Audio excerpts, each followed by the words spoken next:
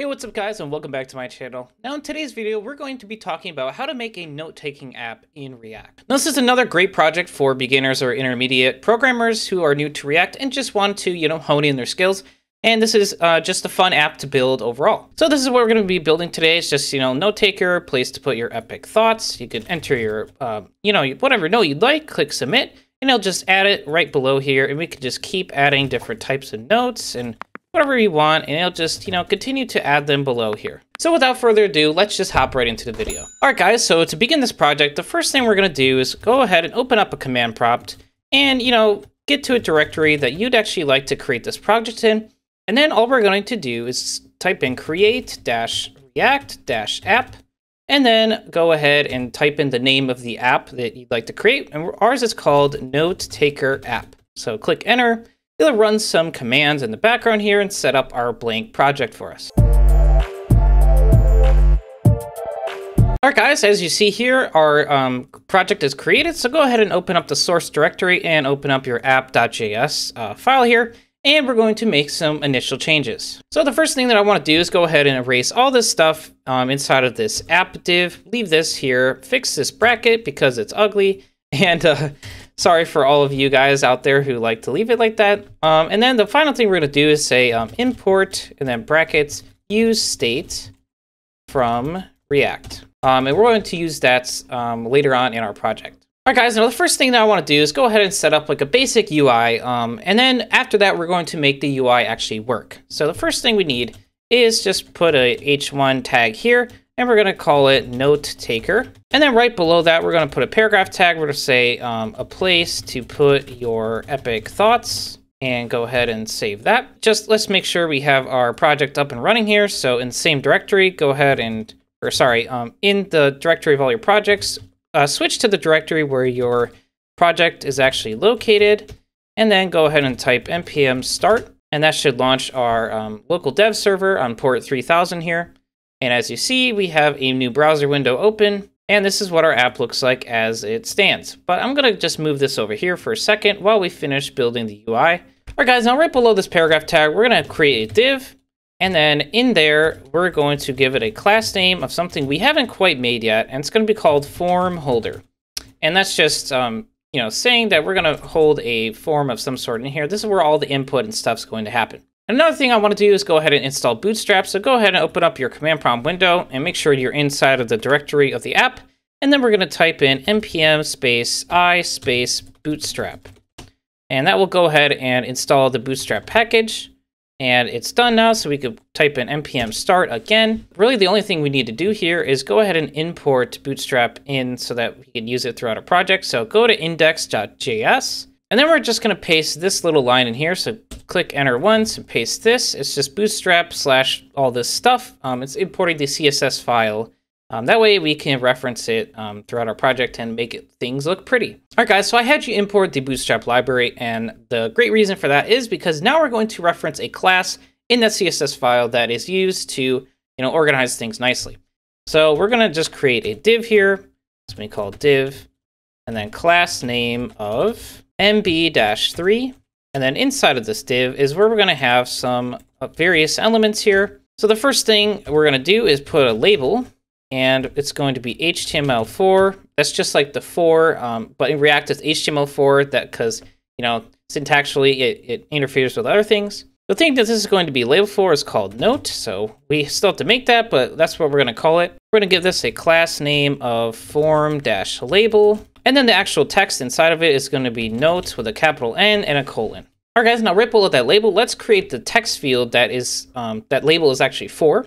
So we're going to say input, uh, add a closing tag like this, and then give yourself a couple lines of space. And the only reason I'm doing this is because we're going to have a couple uh, various properties to set on here, and it's nicer to just put them on different lines than all in one line. So the first thing we're going to do is um, type in type equals text because it's going to be a, text field. Then our class name is going to be one of the bootstrap ones, form-control. Our ID for it is going to be um, note and also the same thing with the name as well. Or sorry, the name is going to be note. And then the placeholder is going to be um, enter a note here with a couple dots. And that's all we're going to need for now. Now, right below that, we're going to add a break line. And then finally, we're going to need a button. And the easiest way to pick out a button is to just go to the Bootstrap's uh, site. So let's type in Bootstrap. And let's just go and look at their docs. Um, I always like to use the same button just because I really like the way it looks, but you guys can pick whatever button you want. So scroll down here to where it says buttons, and then we're just going to choose either one of these buttons or one of these, or you know one of these outlines buttons as well. Um, like I said, I like to use this primary one because it looks cool. So I'm going to take this, and we're going to go back to our React code here, and then we're going to paste that there. And instead of primary, we're going to uh, type in submit. All right, guys, so we have an initial um, couple of elements here that we have laid out. So let's take a look at our UI see where it's at. So if we bring this over here, this is kind of what it looks like now. It's not as close as what it looks like at the beginning of the video, but we're going to get there at some point. All right, guys, before we move on, we're going to go ahead and edit the CSS stuff um, to make it look prettier. So let's open up our app.css file. All right, guys, we're going to create a form holder class back here. So dot form holder, and that's just going to be a width of 50%. And then we're going to go ahead and delete this app header class because it's not even used anymore. And then we're going to go up to where it says app here and then adjust some of these properties. So the first thing I want to do is give it a minimum height. That's going to be of 100 uh, VH here. Um, our display is going to be flex. Our flex direction is going to be column. We're going to align the item items to be uh, centered here. Justify content is going to be center. And then the color is going to be white. And then finally at the very top, let's go ahead and make a background color of, it's going to be hashtag 282C34. So now if you look at our app, it looks a little bit like this. And this is exactly how it looked like, um, you know, uh, at the beginning of the video when I showed you. The only thing we're missing is this text should probably be a little bit off to the, or at least this stuff and this stuff should be um, off to the left in terms of where it's actually lined at. And guys, all we need to do to fix that is just go to your form, form holder class here and type in text dash align. And we're going to put left as the property. And now if we go back to our um, UI here, we'll notice it has a nice centered title and um, you know a little subtitle here, but note and the button and all the text and stuff is over to the left, which is what we want. All right, guys, so now that we have that knocked out of the way, we can go ahead and close our CSS and our index.js file, and now we're really going to be working out of this one for the rest of the tutorial. All right, guys, so let's think about how we're going to make this work. So we have this um, basic text field here and a button.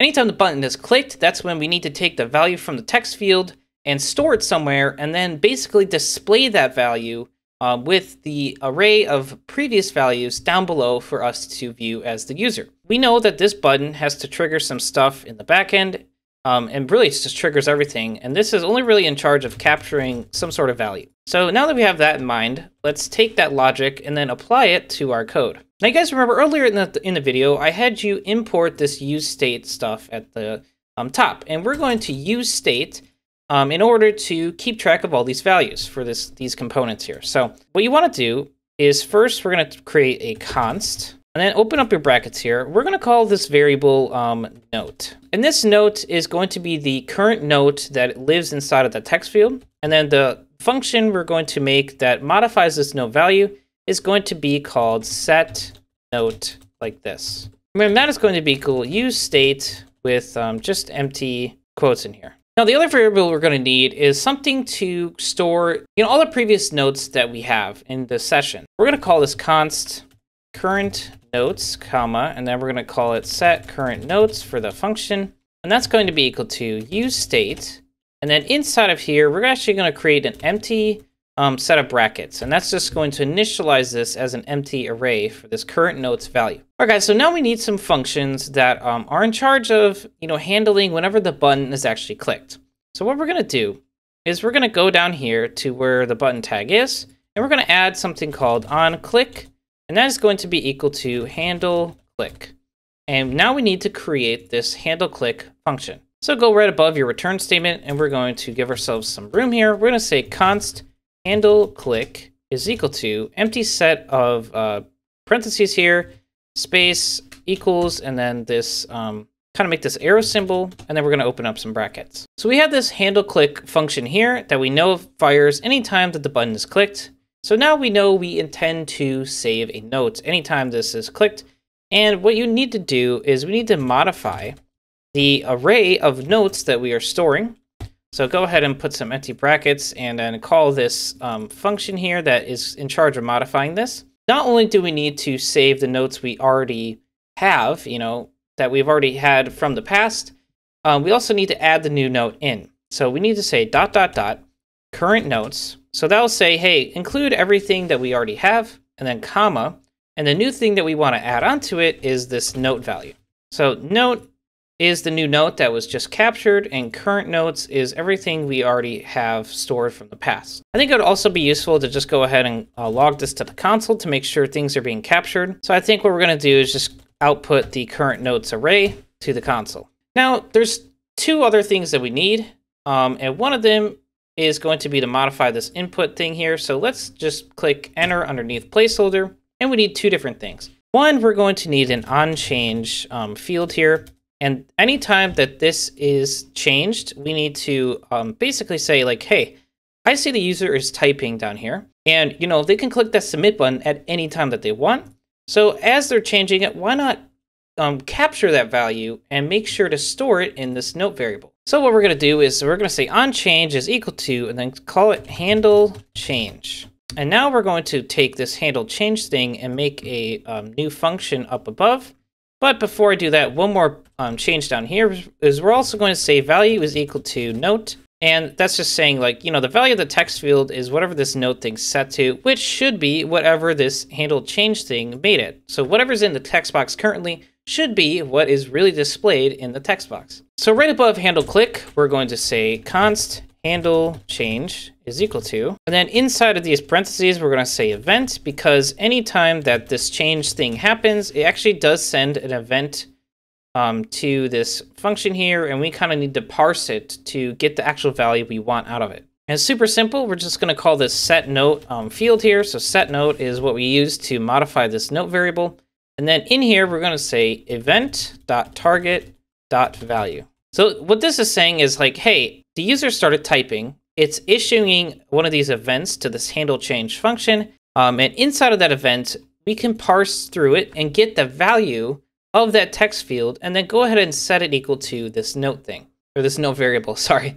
All right, guys, so now that we have that out of the way, let's go ahead and test out our app and make sure that it's working how we want it to up to this point. All right, guys, we have our app here. Let's go ahead and click, um, you know, inspect and open up the dev tools here to make sure that we can see what's happening in the console. And you notice as I'm entering in various things, it is going to be added to the array each and every time, which is awesome. So we know that it's actually storing things properly, which is good. So now that we know we're storing it properly, we need a way to actually display it and you know all of our previous notes are right below where we're entering in the notes. So now let's make a table that we can do that. All right, guys, so inside of your app um, tag here, but below your form holder one from before, we're going to make another div, and that is also going to have a class name of mb-3, and here's where we can do a little bit of checking. So let's open up these brackets, and that's going to basically tell it like, hey, we're ready to use some JavaScript now. Um, and in here, we're going to make a check to see if any note is currently stored inside of this current notes array. So the way we do that is the following. We're going to say current notes dot length. Basically, hey, if it's equal to zero, we're going to say, you know, question mark. This is the first um, part of the if, if you will basically if it if it is true it'll fire here and then we can say this colon and this is the kind of the else and then anything down here when it's false will fire. If the notes length is zero we know there are no notes stored in there currently so we could just make a little paragraph tag here we could say no notes to display. But in the event that we actually do have notes and it is um, true that the length is not zero down here we can create a table and in this table we're going to need a um, a header and just one column basically. We're going to just say, oops, sorry, not TD, we want TH. And in here, we're going to say um, note. And then underneath T head, we're going to have T body.